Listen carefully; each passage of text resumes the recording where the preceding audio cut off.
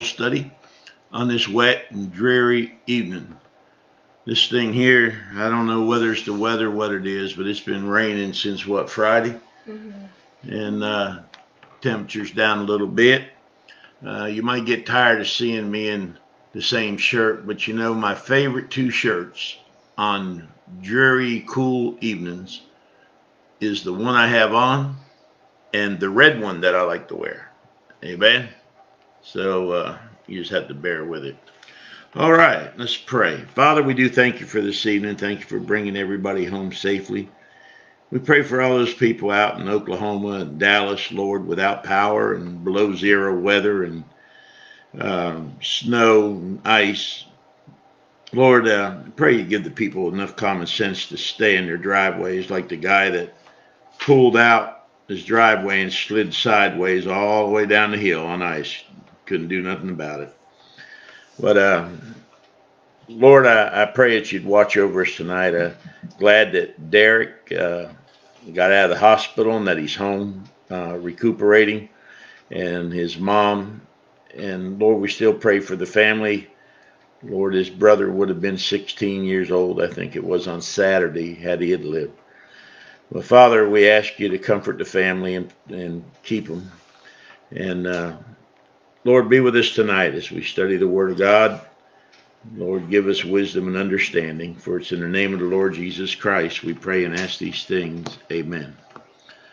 All right, we got a little song here we want to play for you called Up Calvary's Mountain.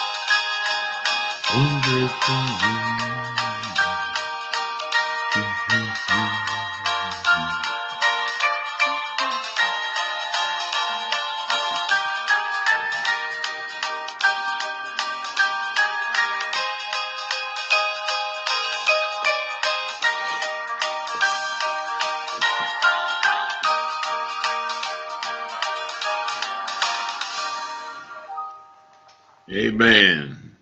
Blessed Redeemer. All right. Let's see if we can give it to you with uh oh let's see let me try this here some of you probably didn't know the lyrics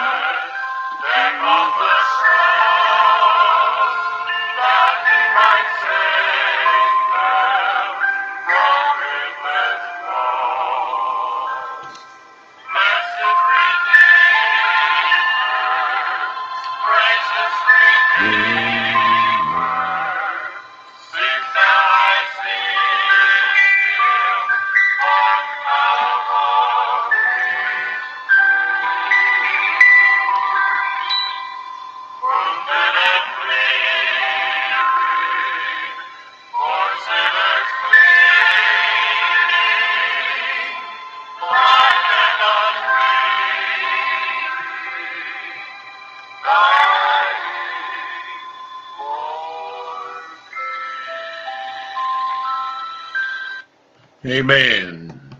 Dying for me. All right, girls, you ready? Sir. Yep. All right, we have a prayer request here for Sister Ruthie. Pray our electric go- doesn't go out in the upcoming ice storm. Amen. Grab you a bunch of blankets and stay under them. Oops. Sorry, we went away for that minute. Down at the cross where my Savior died. Down where the cleansing from sin I cried. There to my heart was the blood applied. Glory to his name.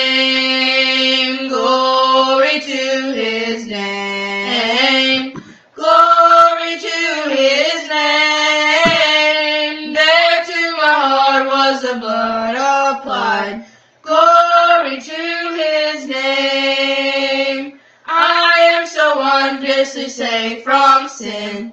Jesus so sweetly abides within. There at the cross where he took me in. Glory to his name. Glory to his name. Glory to his name. There to my heart was the blood applied.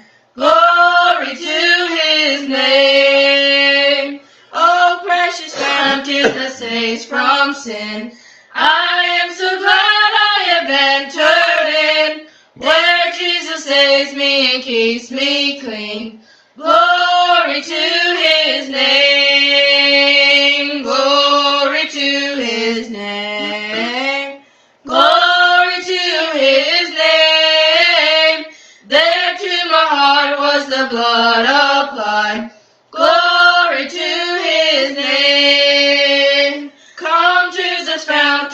rich and sweet. Cast thy poor soul at the Savior's feet. Plunge in today and be made complete. Glory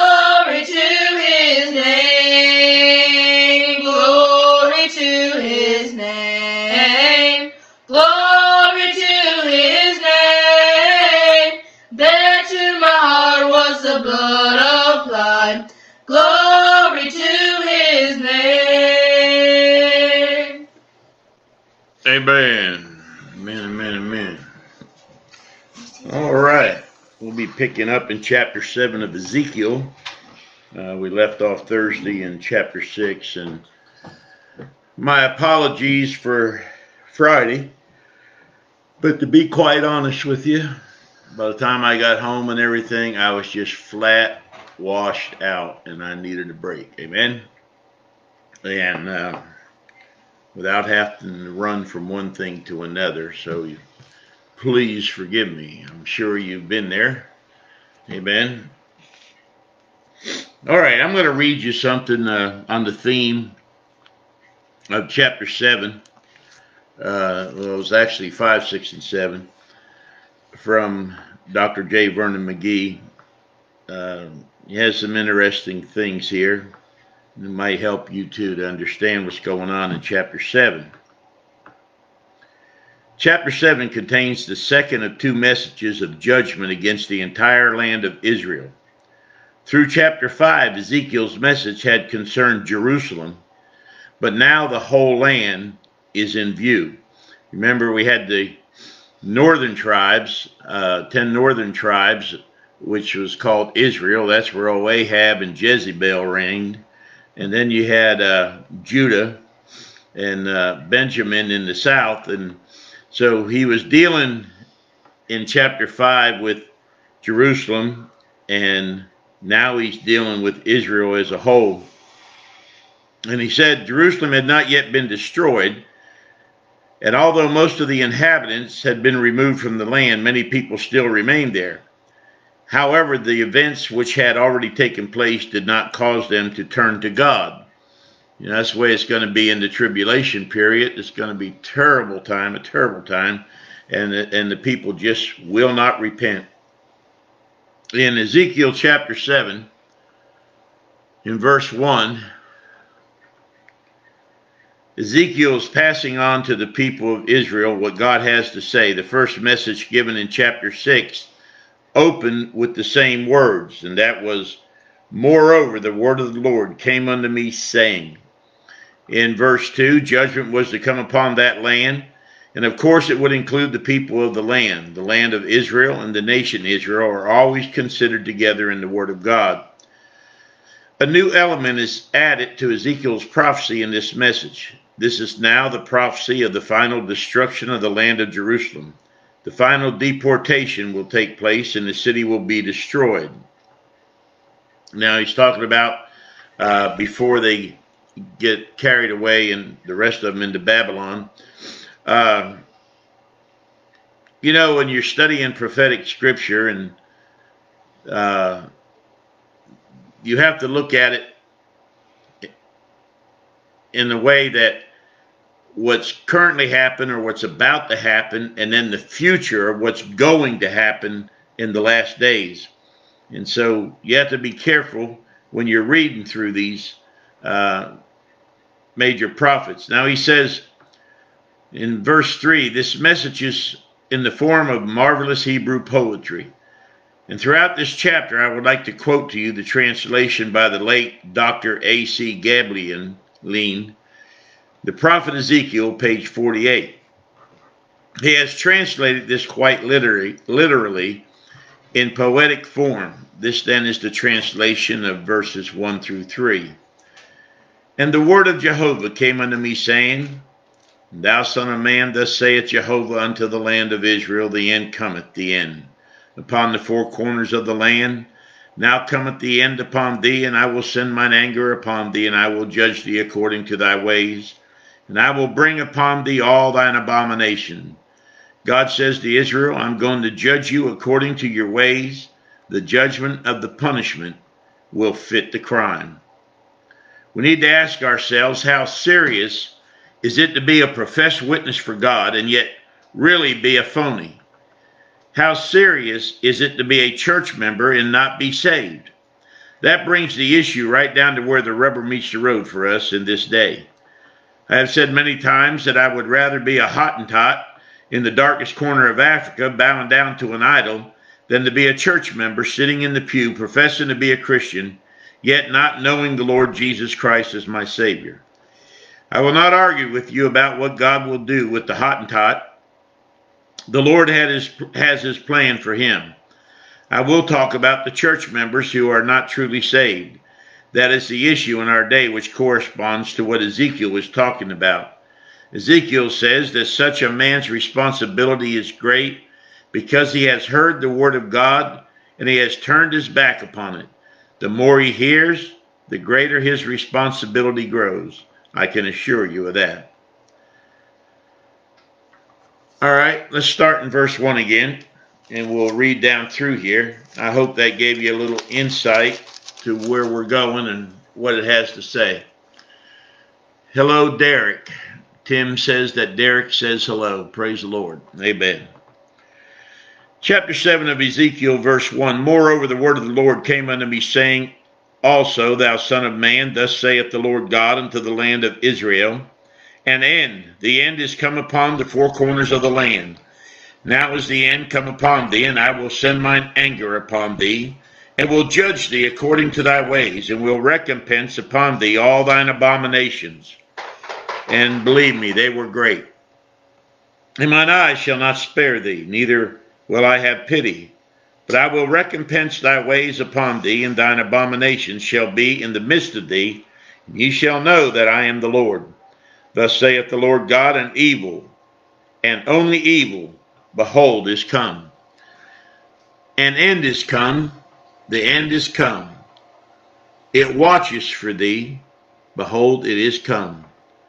The morning is come unto thee, O thou that dwellest in the land. The time is come, the day of trouble is near, and not sounding again of the mountains. Now will I shortly pour out my fury upon thee, and accomplish mine anger upon thee. And I will judge thee according to thy ways, and will recompense thee for all thine abominations. And mine eyes shall not spare, neither will I have pity. I will recompense thee according to thy ways, and thine abominations that are in the midst of thee, and ye shall know that I am the Lord that smiteth. Behold the day, behold it is come.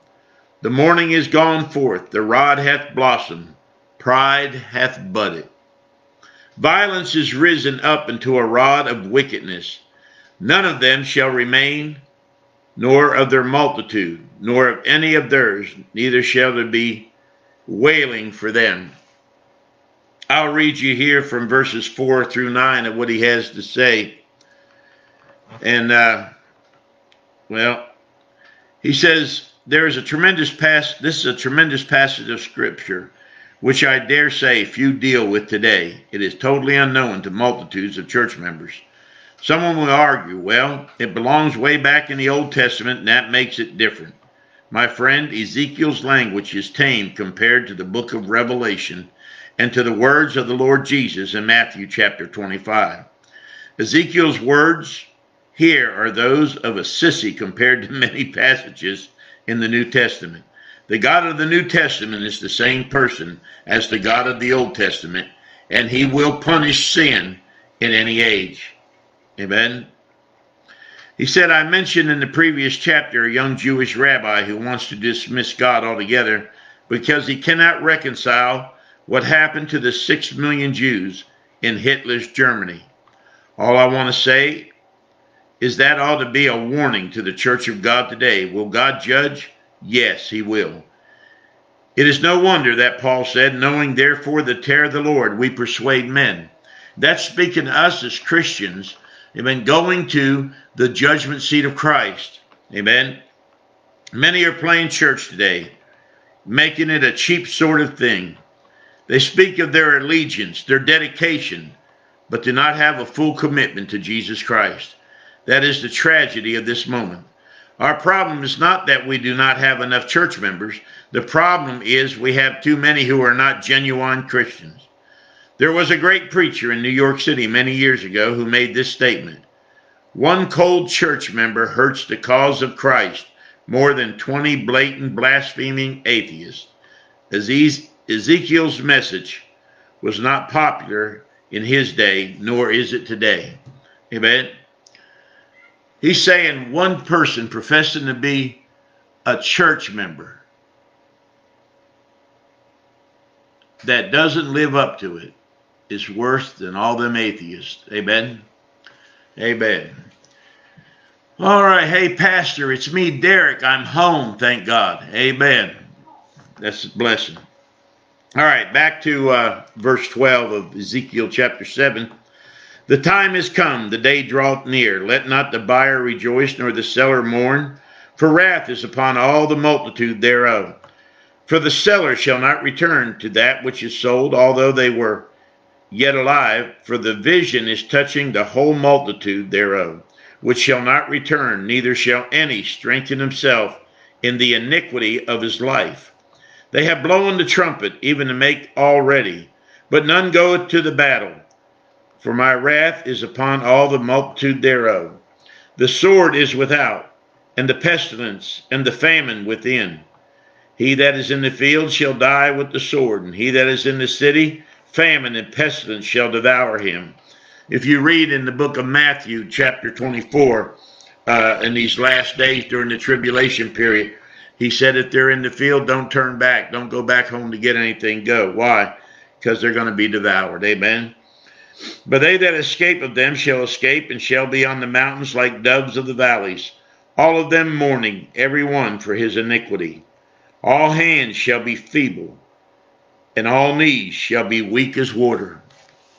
They shall also gird themselves with sackcloth. The horror shall cover them, and shame shall be upon all faces, and baldness upon all their heads. They shall cast their silver in the streets, and their gold shall be removed. Their silver and their gold shall not be able to deliver them in the day of the wrath of the Lord. They shall not satisfy their souls, neither fill their bowels, because it is a stumbling block of their iniquity. As for the beauty of his ornament, he set it in majesty. But they made the images of their abominations and of their detestable things therein. Therefore have I set it far from them. And I will give it into the hands of the strangers for a prey, and to the wicked of the earth for a spoil, and they shall pollute it. My face shall I turn also from them. They shall pollute my secret place. For the robber shall enter into it and defile it. Make a chain, for the land is full of bloody crimes, and the city is full of violence. Wherefore I will bring the worst of the heathen, and they shall possess their houses. I will also make the pomp of the strong to cease, and their holy places shall be defiled. Destruction cometh, and they shall seek peace, and there shall be none. Mischief shall come upon mischief, and rumor shall be upon rumor. Then shall they seek a vision of the prophet, but the law shall perish from the priest, and counsel from the ancients. The king shall mourn, and the prince shall be clothed with desolation, and the hands of the people of the land shall be troubled. I will do unto them after their way and according to their deserts will I judge them. They shall know that I am the Lord. The Lord's going to judge, and He did judge Israel, and they went into captivity 70 years in Babylon. Then He brought them back, and they rebelled again. But one day, He's coming back for His people. He's going to deliver them. You know, they talk about people will say, well, there's a God. Why did he let Hitler destroy six million Jews?